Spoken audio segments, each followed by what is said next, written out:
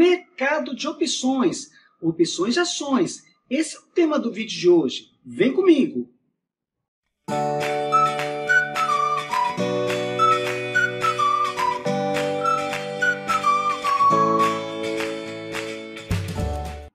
Hoje eu estou aqui para falar com vocês sobre o mercado de opções, opções de ações mais especificamente. Mas antes de começar, já vai deixando aquele joinha, se você é novo, se inscreve no canal e também clica no sininho para ativar as notificações e não perder nenhum vídeo. Você sabia que existe um outro tipo de ativo que também pode ser negociado em bolsa? É isso mesmo, são as opções de ações. Só que, diferentemente das ações, as opções têm prazo de validade. Ou seja, se eu não fizer nada durante a validade, simplesmente elas puff, desaparecem. É o que a gente chama de viram pó. Existem dois tipos de opções: as opções de compra e as opções de venda. Diferenças entre as duas: as opções de compra dão ao seu titular o direito de poder comprar aquela ação a que a opção se refere por um certo preço até uma certa data, que é o vencimento da opção. Já adianto para vocês que as opções vencem sempre na terceira sexta-feira do mês. E as opções de venda, o contrário, direito de poder vender as ações por um certo preço até uma certa data, que é o vencimento delas.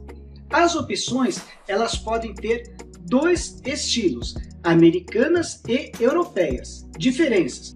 As opções americanas podem ser exercidas a qualquer momento até o vencimento. E as opções europeias? Somente na data do vencimento.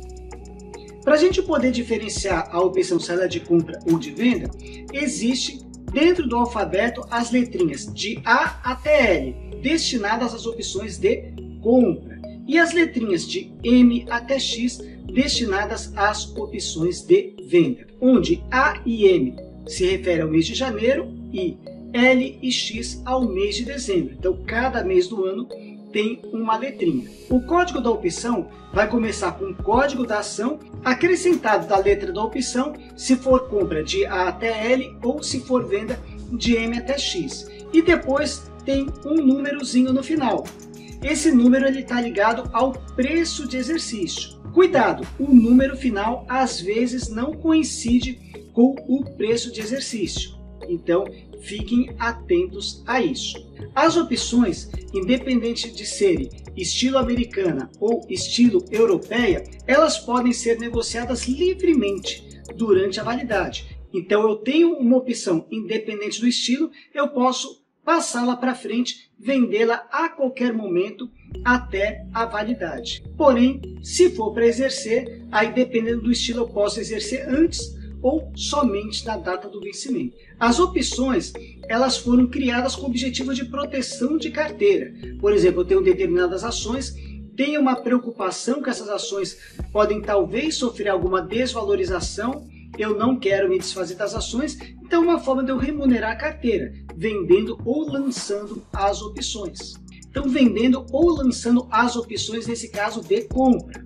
Ou também, numa outra situação que eu quero assegurar um preço mínimo de venda, eu posso adquirir opções de venda, como se fosse um seguro.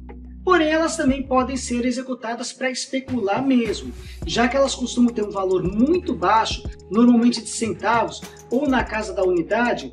Então, com um valor pequeno, você já consegue adquirir um grande número de opções. E se der certo, se a movimentação daquela ação ocorrer conforme você está imaginando, a ação disparar de preço, no caso de opções de compra, você pode ter ganhos estratosféricos.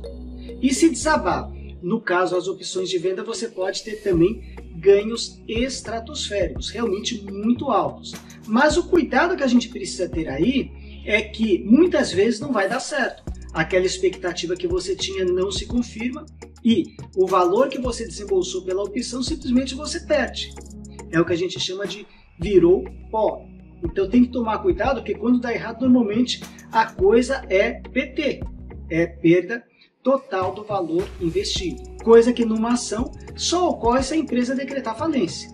Então, numa ação, por maior que seja a perda, não vai ser perda total, salvo essa situação bem específica. Então, qual que é a dica importante para quem for especular com as opções? É colocar pouco dinheiro.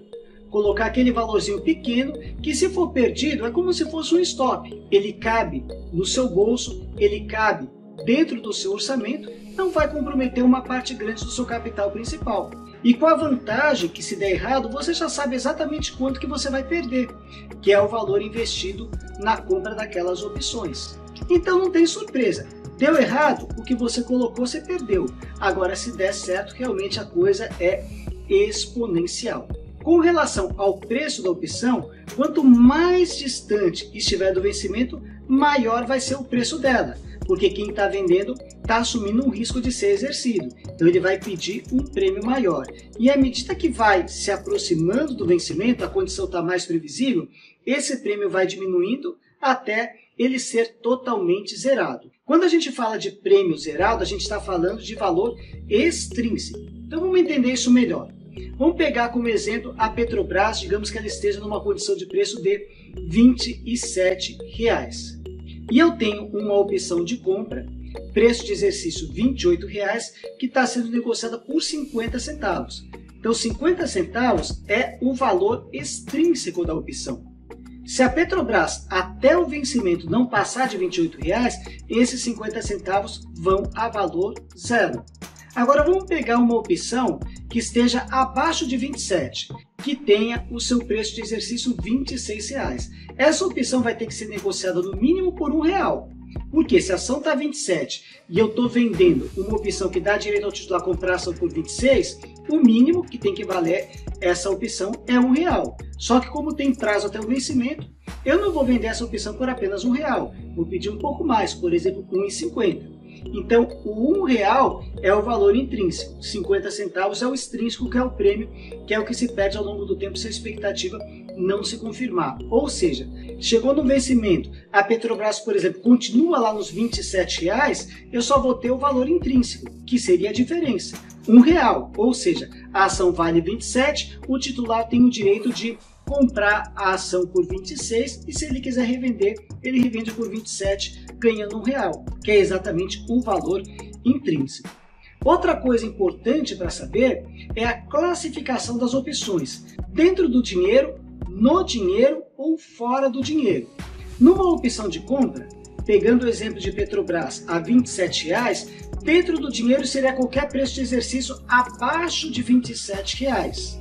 No dinheiro seria um preço próximo aqui dos 27 e fora do dinheiro acima dos 27 reais. Nas opções de venda, que é o contrário, ao invés de você ter o direito de comprar, você vai ter o direito de vender. Fora do dinheiro é abaixo do preço, no dinheiro próximo do preço da ação e dentro do dinheiro acima do preço da ação. Então tá aí mais um mercado que pode ser explorado, porém com cuidado, devido à condição de perda do valor investido e tem que pensar também no tempo, né? Ou seja, aquele cenário que você idealizou, imaginou, tem que acontecer dentro daquele período. Senão, simplesmente a estratégia não vai dar certo. Conselho que eu dou para vocês: comece inicialmente com as ações, se familiarizem bem com elas e depois um próximo passo pode, quem sabe, começar a estudar o mercado de opções. Tá bom? Fico por aqui, espero que vocês tenham gostado do vídeo. Não esqueçam de deixar aquele like, comentem, se inscrevam no canal, ative o sininho para não perder nenhum vídeo e participe do grupo que eu criei voltado para o público iniciante lá no Telegram. Até a próxima. Muito obrigado. Valeu!